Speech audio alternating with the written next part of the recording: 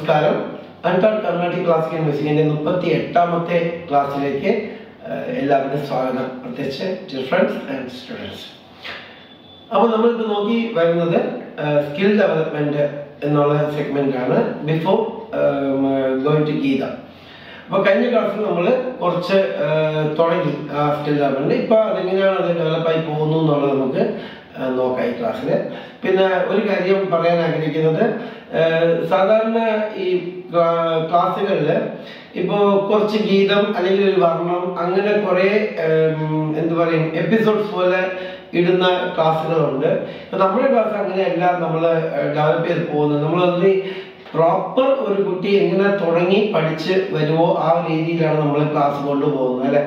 അപ്പൊ അതുകൊണ്ട് എനിക്ക് മെൻകർഷിഫ് ഒരു ക്ലാസ്സിൽ നിങ്ങൾക്ക് ഒരു ലെസൺ കിട്ടിക്കഴിഞ്ഞാൽ നിങ്ങൾ അടുത്ത ക്ലാസ് എടുക്കുന്നതിന് മുമ്പ് ആ കഴിഞ്ഞ ക്ലാസ്സിലെ ലെസൺ കയ്യിൽ കൃത്യമായിട്ട് വരുത്തിയ ശേഷം മാത്രമേ നിങ്ങൾ അടുത്ത ലെസണിലോട്ട് പോകാവൂ.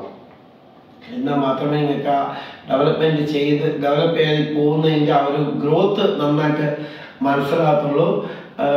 ഓരോ ക്ലാസ് കഴിയുമ്പോൾ നിങ്ങൾക്ക് ആ ക്ലാസ്സിലെ കാര്യങ്ങൾ കയ്യിൽ വരണം എന്നുണ്ടെങ്കിൽ നിങ്ങൾ തലേ ക്ലാസ്സിന്റെ പാഠങ്ങൾ കൃത്യമായിട്ട് ഫിനിഷ് ചെയ്തിരിക്കണം. കേട്ടോ?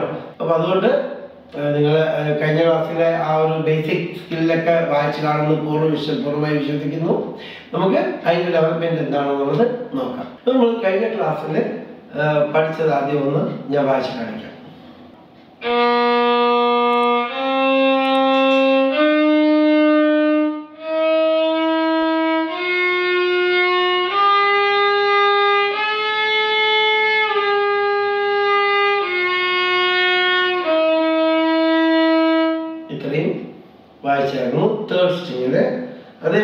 സെക്കൻഡ് സ്ട്രിങ് നമ്മൾ മായാണ് ഫസ്റ്റ് ഫിംഗർ വായിച്ച് വായിച്ചത്.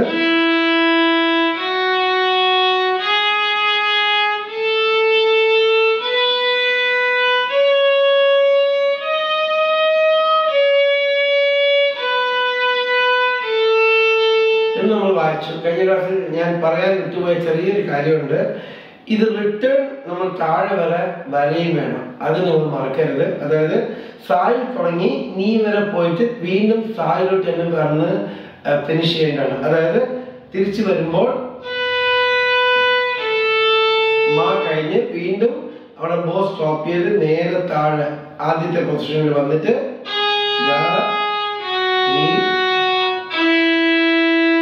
ഇത് മൂന്ന് സ്വരം വായിക്കേണ്ട അതേപോലെ ഇപ്പുറത്ത് വായിക്കുമ്പോൾ സാ വായിച്ചിട്ട് നിന്ന് അടുത്ത പൊസിഷനിൽ വരിക.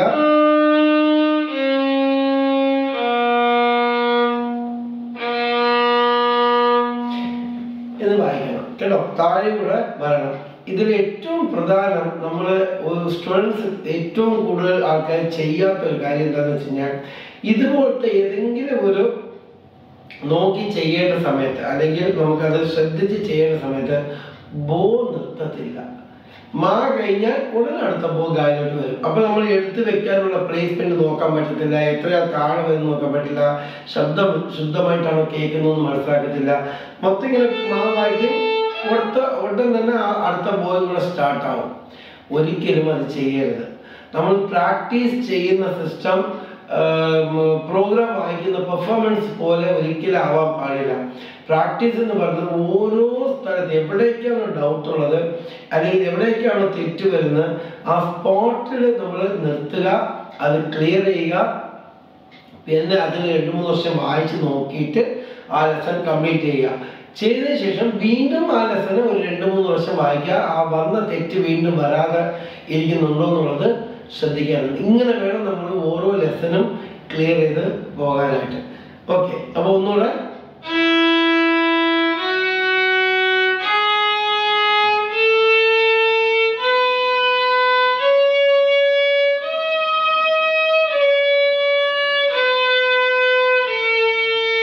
നിർത്തിയിട്ട് താഴെ വരിക.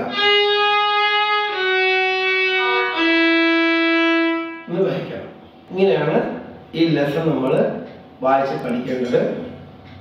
ഇനി നമുക്ക് ഈ പുതിയ ക്ലാസ്സിൽ നമ്മൾ എന്താണ് ഇതിൽ ഡെവലപ്പ് ചെയ്യുന്നത് നോക്കാം.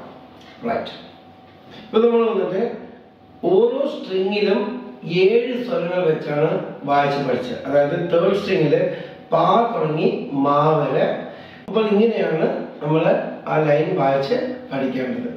ഇപ്പൊ നമ്മൾ എന്താ ചെയ്യുന്നത് വെച്ച് കഴിഞ്ഞാൽ ശരിക്ക് ഒരു ഒറ്റയാണ് നമ്മൾ ഒരു സ്ട്രിങ്ങിൽ വായിച്ചത്. അതായത് താഴത്തെ പാ മുതൽ തേർഡ് സ്ട്രിങ്ങിൽ പാ മുതൽ മാ വരെ വായിച്ചു. സെക്കൻഡ് സ്ട്രിങ്ങിൽ സാ മുതൽ നീ വരെ വായിച്ചു. അതേപോലെ തന്നെ നിങ്ങൾ ഫസ്റ്റ് സ്ട്രിങ്ങിലും അതേപോലെ പ്രാക്ടീസ് ചെയ്യണം. തേർഡ് സ്ട്രിങ്ങിൽ വായിച്ച പോലെ പാ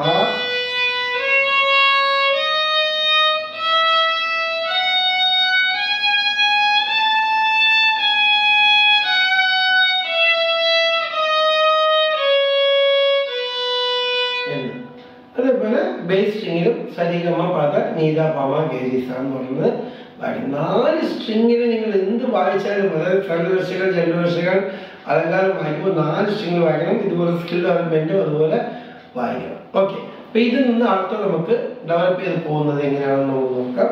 ഇപ്പൊ നമ്മൾ വായിക്കാൻ പോകുന്നത് ഒരു ഒക്ടേവിൽ കൂടുതലാണ് നമ്മൾ വായിക്കാൻ പോകുന്നത്. അതായത് സ എന്ന തേർഡ് സ്ട്രിങ്ങിലാണ് നമ്മൾ സ്റ്റാർട്ട് ചെയ്യാൻ പോകുന്നത്. ഓക്കെ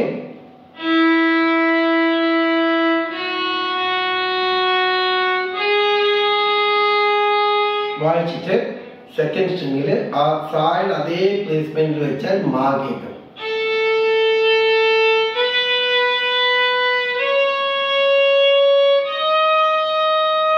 അതേ ഫിംഗറിനെ നേരെ എടുത്ത് പൊസിഷനിൽ ഫസ്റ്റ് സ്ട്രിങ്ങിൽ സാ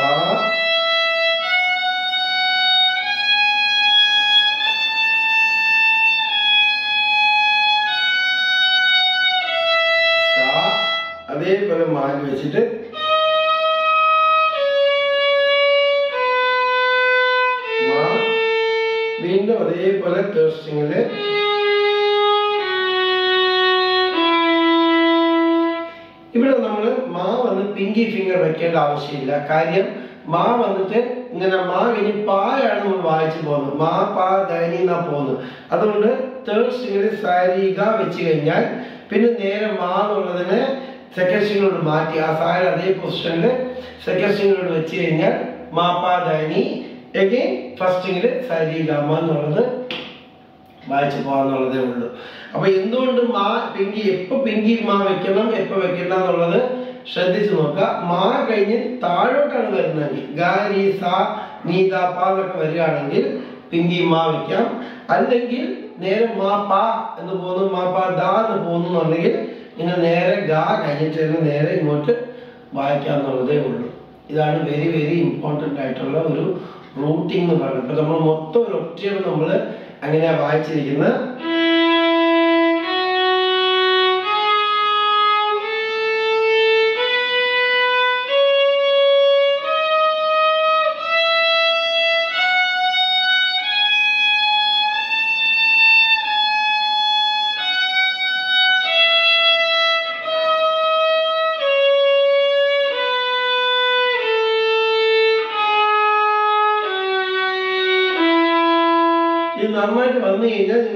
താനെ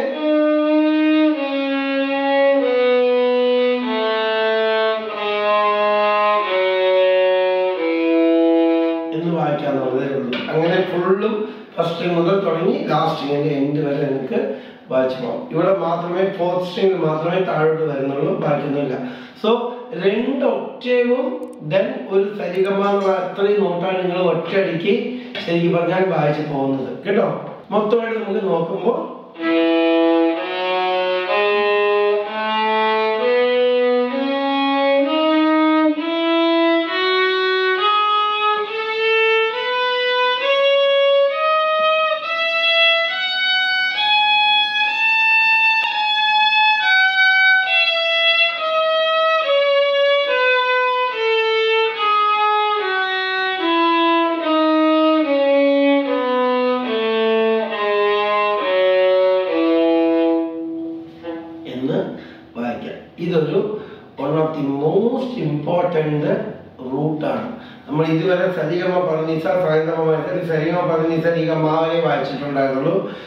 ഒറ്റ റൂട്ടിൽ നമ്മൾ എങ്ങനെ വായിച്ച് പോകുന്നു വെച്ച് കഴിഞ്ഞാൽ അതായത് വേറൊരു പൊസിഷനിൽ ഇങ്ങനെയാണ് നമ്മൾ വായിക്കുന്നത്.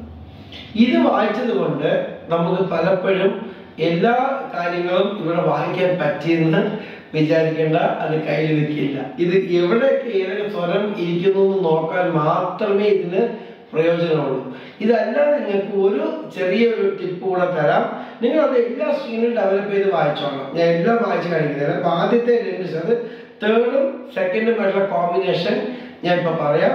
സെക്കൻഡും ഫസ്റ്റുമായിട്ടുള്ള കോമ്പിനേഷൻ ഫോർത്തും തേർഡുമായിട്ടുള്ള കോമ്പിനേഷൻ നിങ്ങൾ ഇതേ ഐഡിയയിൽ വായിച്ചോളാം ഓക്കെ ഇനി നമ്മളിപ്പോ എടുക്കാൻ പോകുന്ന നോട്ട്സ് എന്താന്ന് വെച്ച് കഴിഞ്ഞാൽ സ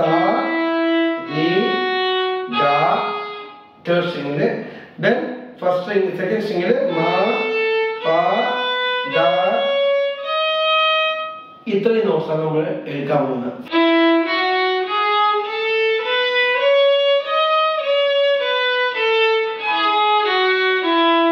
എടുക്കാൻ പോകുന്നത് ഇന്ന് രണ്ട് സെക്ഷനായിട്ട് നിങ്ങൾ തിരിച്ചോളും ആദ്യം തേർഡ് സ്ട്രിങ്ങിനെ സാ വെച്ചിട്ട് സെക്കൻഡ് സ്ട്രിങ്ങിലുള്ള എല്ലാ നോട്ടിന്റെയും കോമ്പിനേഷൻ നമ്മൾ വായിക്കാൻ പോകുന്നു. അതായത്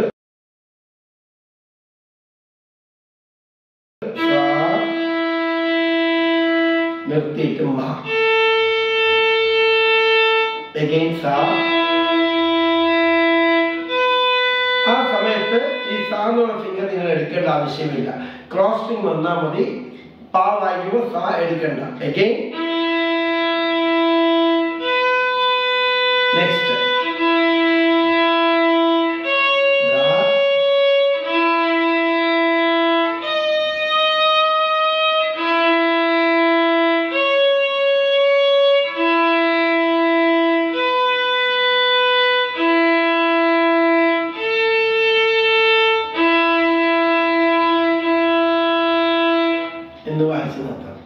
കുറച്ചുകൂടി പതുക്കെ വായിച്ചോളൂ. കേട്ടോ? സ മ ഫ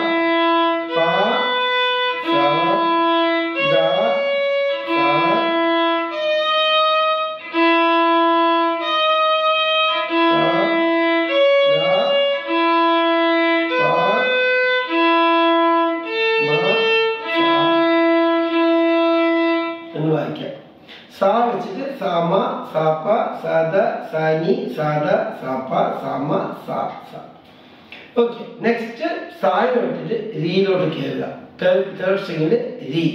രീ വെച്ചിട്ട് സെക്കൻഡ് സ്ട്രിങ്ങിൽ ഇതേ മാപ്പാ തന്നെയാണ് കോമ്പിനേഷൻ മാ സോറി രീ മാ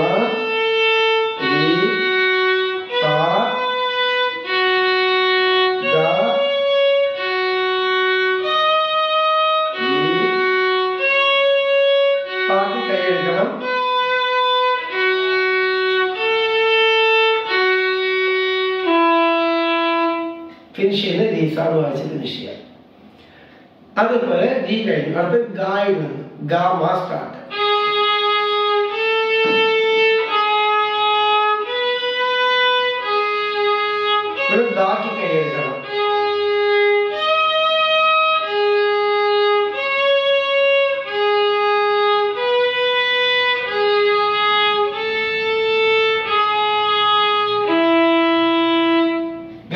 വായിച്ച് ചെയ്യണം ഗാമ ഗപ ഗദ ഗനി ഗദ ഗപ ഗമ ഗസ.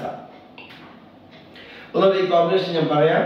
സായിൽ തുടങ്ങുന്നു സാമ സാപ സദ സാനി സദ സാപ സാമ സാ സാ.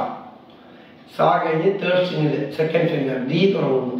റീമ റീപ റീദ റീനി റീദ റീപ റീമ റീസ again third finger round. Guide. third finger. Gapa, gada, gani, gada, gapa, ഗപ gasa. എന്ന് വായിച്ച് ഫിനിഷ് ചെയ്യണം. അപ്പൊ ഇതാണ് ഈ ക്ലാസ്സിൽ നമ്മൾ പഠിക്കാൻ പോകുന്ന അടുത്തൊരു ഡെവലപ്മെന്റ് ആയിട്ടുള്ള കാര്യം. ഇത് വെരി ഇമ്പോർട്ടന്റ് ആണ്. ഞാൻ എന്താണ് എല്ലാ ക്ലാസ്സിലും ഇത് ഇമ്പോർട്ടന്റ് ഇമ്പോർട്ടന്റ് പറയുന്നതെല്ലാം പറയുന്നുണ്ട്. ഇതൊക്കെ വായിക്കുന്നുണ്ട് പറഞ്ഞു. പക്ഷെ അങ്ങനെയല്ല. ഇത് സ്കില്ല് ഡെവലപ്പ് ചെയ്യുന്നു മാത്രമല്ല ഈ ഇത്തരം പോസിബിലിറ്റീസ് ഇല്ലാത്തത് നമ്മൾ യൂട്ടിലൈസ് ചെയ്യാത്തത് കൊണ്ടാണ് നമുക്ക് പലപ്പോഴും വയലിൻ വായിക്കുമ്പോൾ കഷ്ടം അല്ലെങ്കിൽ പറ്റുന്നില്ല എന്നൊക്കെ നമ്മൾ പലപ്പോഴും പറയുന്നതിന്റെ കാര്യം ഇത്രയും ഓപ്പൺ അത്രയും ഓപ്ഷൻസ് ഒന്നും നമ്മൾ ഉപയോഗിക്കാതെ പോകുന്നതുകൊണ്ടാണ്. ഇതെല്ലാം ഉപയോഗിച്ച് ആണ് നമ്മൾ വായിക്കുന്നുണ്ടെങ്കിൽ സത്യം പറഞ്ഞാൽ ഇനിയുള്ള കാലഘട്ടത്തിൽ ഇത്രയും നമ്മൾ പ്രാക്ടീസ് ചെയ്യാൻ സൗകര്യം ഉണ്ടായിട്ട് നമ്മൾ മിസ് ചെയ്ത് കഴിഞ്ഞാൽ പിന്നെ നമ്മളെ പോലെ പറയാൻ ആരുമില്ല. കേട്ടോ? അപ്പോ ഇതെല്ലാം ഇവിടെ തിരിഞ്ഞാൽ നമുക്ക് ഒരു കംപ്ലൈന്റ് കാണത്തില്ല. നമ്മൾ എന്ത് മ്യൂസിക്കും എവിടെയും സുഖമായിട്ട് നമ്മൾ വായിക്കും. അതൊന്ന്. വെരി വെരി ഇമ്പോർട്ടന്റ് ആയിട്ടുള്ള ഒരു കാര്യം. ഞാൻ വായിക്കുമ്പോൾ പറഞ്ഞാൽ അത് ആ വായിക്കുന്ന ഇടയ്ക്ക് മുങ്ങിപ്പോകല്ലോ എന്ന് പറഞ്ഞാൽ ഞാൻ എടുത്തു പറയുന്നത്. ഈ കോമ്പിനേഷൻസ് വായിക്കുമ്പോൾ ഫിംഗർ മാത്രം വെച്ചുകൊണ്ട് നിങ്ങൾ വായിക്കരുത്. ഓരോ നോട്ടും വായ കൊണ്ട് പറഞ്ഞ് വായിക്കണം. അല്ലെങ്കിൽ ഒക്കെ വരും. എല്ലാം ഉണ്ടാവും. പെട്ടെന്ന് നമ്മൾ രീത എന്ന് പറഞ്ഞു കഴിഞ്ഞാൽ അതെവിടെ ഇരിക്കുന്നു എന്ന് അറിയില്ല. മനസ്സിലായില്ലേ? ഈ ഫിംഗർ വെച്ച് വായിക്കാൻ അറിയാം ഇവിടെ. പക്ഷെ അത് രീത എവിടെയാണെന്ന് വെച്ച് കഴിഞ്ഞാൽ ചിലപ്പോൾ അറിയാൻ പറ്റത്തില്ല. ആ കോമ്പിനേഷന്റെ ആ സ്വരങ്ങൾ നമുക്ക് മനസ്സിലാവില്ല. ഫിംഗറൊക്കെ വരും. അതുപോലെ ആയിപ്പോവും. അതുകൊണ്ട് സാ